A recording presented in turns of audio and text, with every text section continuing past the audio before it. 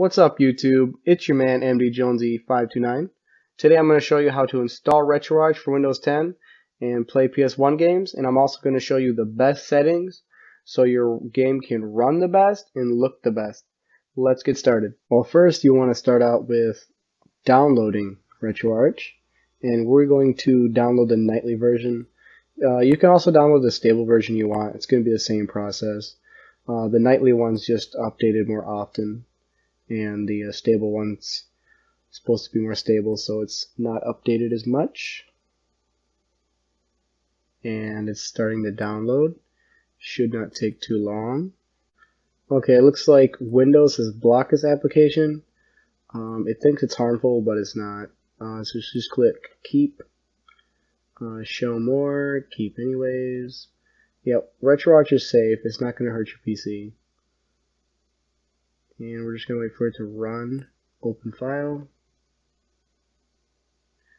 Uh, again it's trying to stop us. Just click more info and run anyways. Again safe application. Nothing shady here. But yeah we're just waiting for it to boot up. And just click through the installation process. Next. Uh, read through this entire legal document. Understand every single word and uh, you can choose what destination folder. You could hit browse and put it somewhere. I'm just going to leave it default. And if you want you can click this. I already had the stuff for it so I don't really need to. Uh, I might just do it just to show you guys. And start menu folder. Uh, sure why not? And we're just gonna wait for this to install here Okay, I finished installing and this popped up here. This is for the DirectX I clicked earlier. Um, I guess I accept. Uh, no, no one uses a Bing bar. Like, come on. And I already had the stuff, so it's just going to tell me I already have the uh, components. Okay. And click Finish, and you should now have a shortcut for RetroArch on your desktop. There it is. Now that we have RetroArch downloaded, what we want to do is get it ready to play PS1 games. And to do that, we need to start out by downloading the Beetle PSX HW core. Just scroll down to Sony, the manufacturer for the Sony PlayStation. Go to Beetle PSX HW, download it. Now to get RetroArch to run PS1 games, you're going to need to give it a BIOS file. It needs to be formatted like this. This is what you need to name it. Okay, the legal way to get a BIOS file is to dump it yourself. Um, that's the only legal way to do it. You know, there's illegal ways to do it too. Uh, Google search away is what I've heard. Uh, but basically, copy your BIOS file once you do have one, and open file location on RetroArch here and go to the system folder and place it here. Just paste it right there. And, and again it needs to be formatted this way. This is what needs to be named for RetroArch to recognize it. Now we want to set up the content to be run. And I just put on the desktop here Digimon Digital Card Battle. And you know you got your disk file here. And this is your cue file. So basically a cue file um, will tell the RetroArch to play this piece of content right here. And it doesn't have to be a cue file necessarily, it's just got to be one of the formats that RetroArch supports. You can look that up, but I got a cue file here. This is what it looks like in Notepad++. It has the file right here, in between quotations is the is the name of the file right there. Pretty simple. And again, it just tells RetroArch to play this disk image file. Now everything's set up. Now we can just boot up RetroArch. And uh, you can just plug in a PS4 controller to operate the controls. Uh, right out of the box, it works for my PS4 controller. It probably supports other controllers as well. This, this is just what I use. So load the content, just find where it's at. And users, I got mine on the desktop, so I gotta go down to desktop. Digimon your Card Battle. And see it's recognizing the cue file. And just like that, we're running a game. Now we're going to go over the settings for RetroArch to get it looking its best and running great as well. And we're going to start with the front end settings.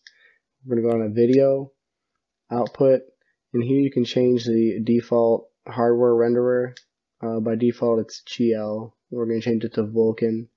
If your PC does not support Vulkan, you can just change it back to GL. It's fine. Uh, but Vulkan offers a lot more advantages over the other ones, in my opinion. You can also change the screen resolution here and whatnot. Uh, full screen mode, you can change it, the full screen on mode or off. You can also change it with Alt Enter. Uh, windowed, I guess this is windowed settings. You can change window width and height. Scaling, this is one you might want to change. You can manually change the uh, screen to 16.9 or 4.3, uh, or you can just keep it core provided and the core will do it for you. And that's it for the front end settings. And now we're going to get into core options. And to do that, you need to load a piece of content. And once you're in, you're going to want to hit F1 to get into the options. Go down to options. And we're going to start out with the video settings. And your settings might look slightly different if you're not using Vulkan as your hardware renderer. That's fine. Still follow along. And uh, we're going to start out with internal GPU resolution. This is the most important setting. It makes the game look beautiful. Uh, higher is more demanding, but also better looking.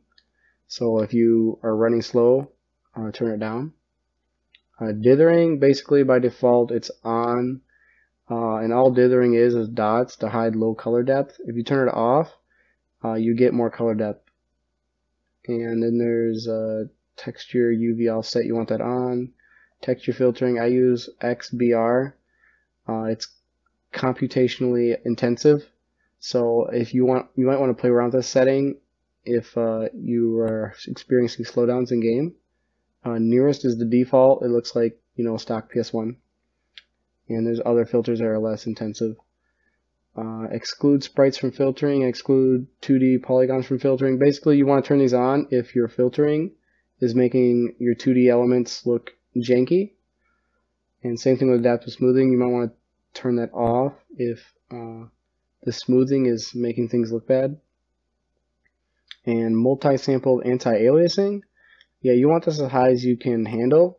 It smooths out the 3D uh, models, so it looks smoother and better. And MDECU, whatever, I have that on. I think it's for the movies. Um, track. Textures I think that's it for the video settings.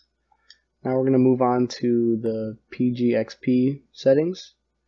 And you're going to want to turn that turn that to memory plus CPU. And it's going to fix a lot of graphical glitches. A lot of them. Uh, they have a warning for it being buggy or whatever. You can use memory only if it's if it really is buggy. And I just turn on primitive culling and perspective correct texturing. This fixes a lot of my graphical issues. I don't really play around with the geom geometry tolerance or the vertex cache. You can if you want. I don't know what they do. I don't really see a difference for me. And the last option I'm going to cover is CD access method, and we're going to change it to pre-cache. And that just makes the loading better. And there you have it. That's how you install RetroArch on Windows 10 and run PS1 games with the best settings. If this video helped you, let me know in the comments below. And if you have any questions, go ahead and leave those in the comments below. I would love to get with you and answer your question as soon as possible. And I hope you enjoyed the video. And until next time, peace.